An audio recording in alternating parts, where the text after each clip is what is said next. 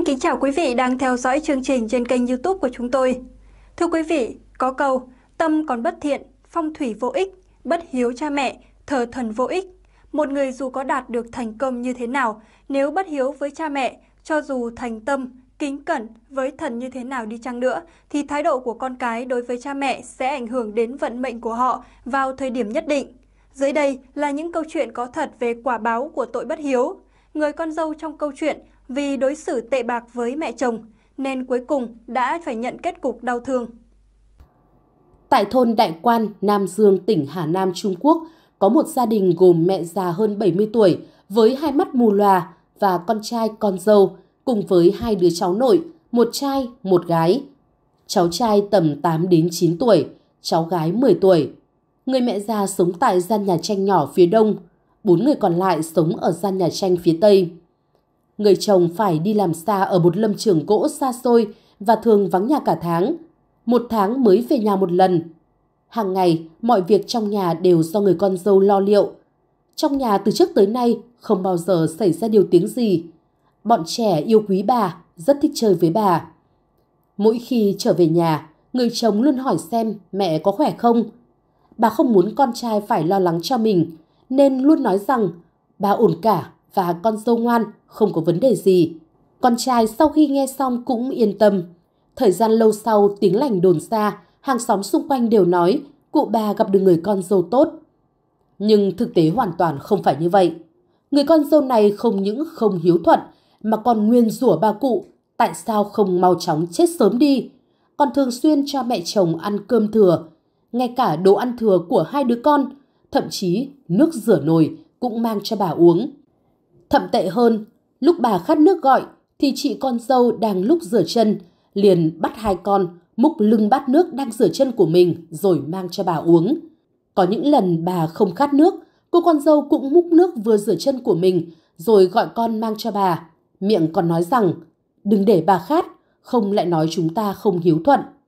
Dù bị con dâu đối xử thậm tệ, nhưng cụ bà cứ ngày ngày nhẫn nhịn, chịu đựng. Nhưng đến buổi trưa một ngày, mùa hè năm 1960 là thời điểm tức nước vỡ bờ. Hôm đó, trời đổ mưa lớn, còn kèm theo sấm chớp inh tai vô cùng đáng sợ. Lúc đó, con dâu và hai đứa cháu nội đều ở trong gian nhà phía tây. Xét đánh lên nóc nhà của người con dâu, rung chuyển đến mức bụi ở trên cột nhà còn rơi xuống. Tình trạng này trước nay chưa từng xảy ra, khiến cụ bà vốn thường uống nước rửa chân cũng phải kinh sợ. Cô con dâu hoảng sợ trốn trong phòng ngủ phía tây, ngồi trên cạnh giường, một tay nắm chặt tay con trai, một tay nắm chặt tay con gái. Ba người lo sợ đến phát run.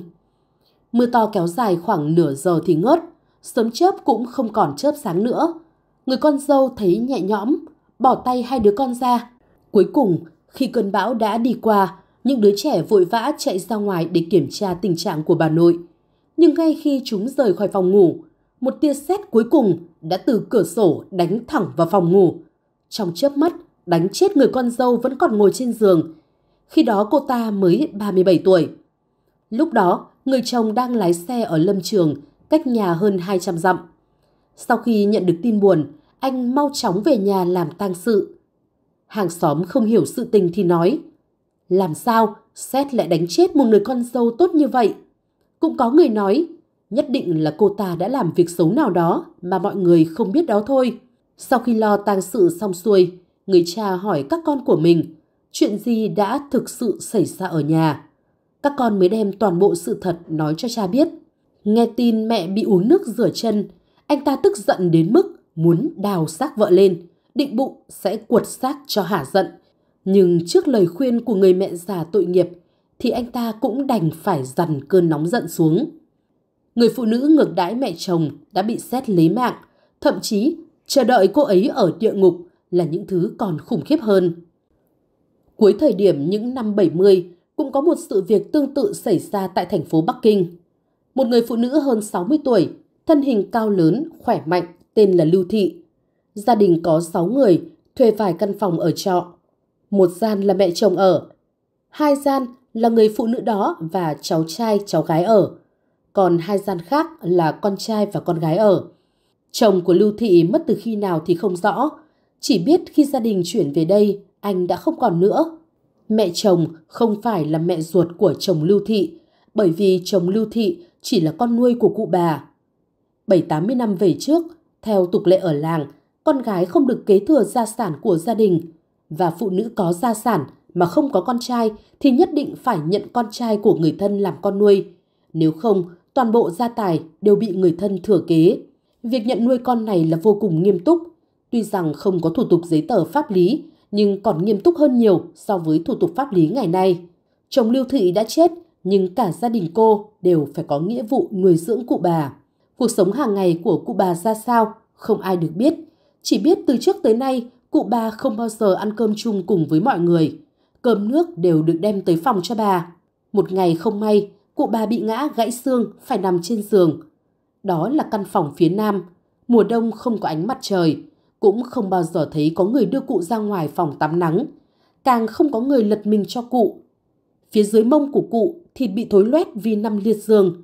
Từ đó hàng xóm đều dần dần không nhìn thấy cụ bà nữa.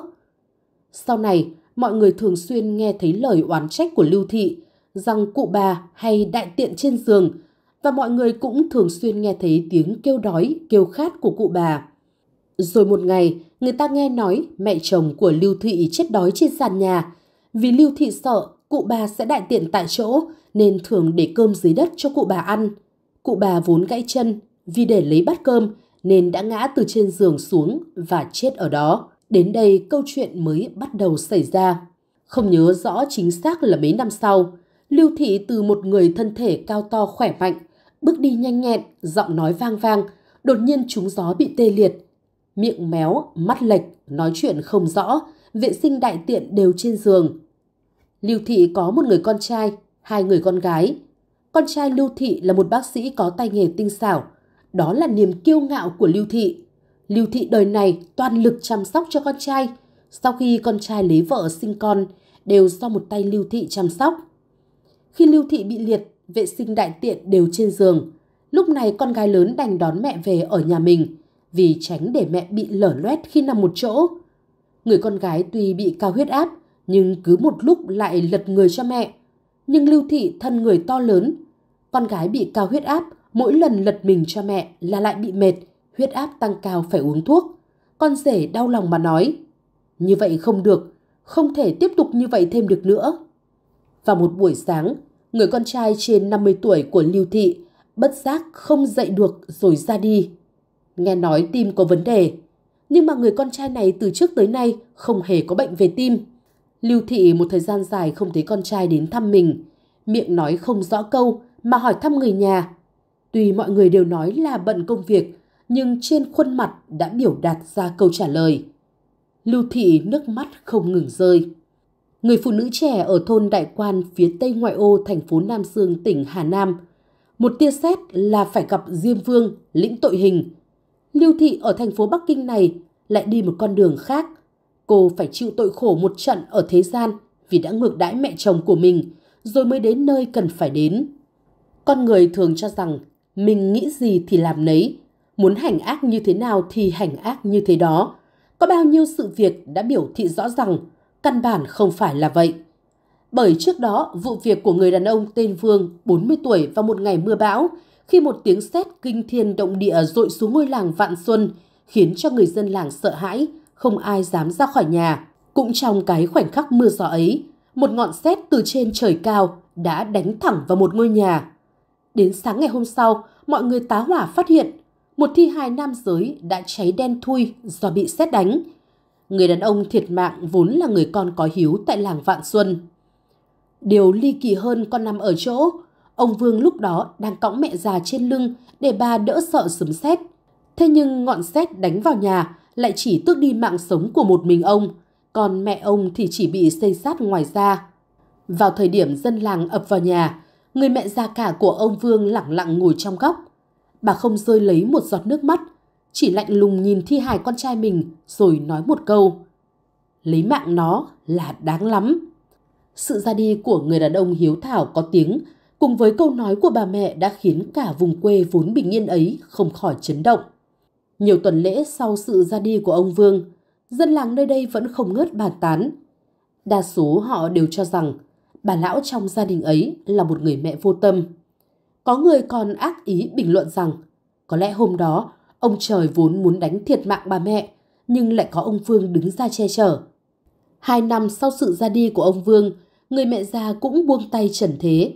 Chẳng bao lâu sau, cô con dâu nhà ấy cũng bỏ xứ mà đi. Nào ngờ một ngày nọ, người con dâu ấy đột nhiên viết một lá thư gửi cho trưởng thôn.